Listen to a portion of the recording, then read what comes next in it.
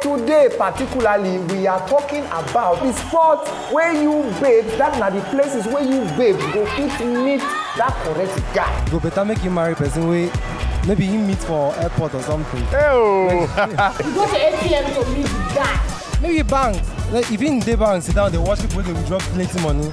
this guy na sharp guy. Chill, girl. That's what's up. Chill. Yo. Right now. Yeah. Right here. E-erected.